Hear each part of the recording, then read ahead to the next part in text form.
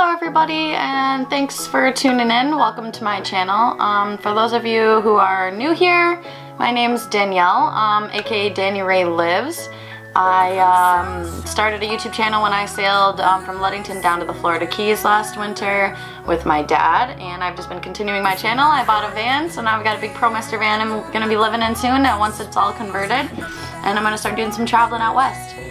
Um, so yeah, a lot of exciting things happening. Um, for those of you who are uh, returning to this channel, um, I just wanted to wish all of you guys a happy Thanksgiving and um, I've got some good videos coming up. I'm pretty excited about them. I'm pretty excited to share some of this stuff with you. Um, but I just wanted to thank you guys all for being a part of the journey and a part of my channel.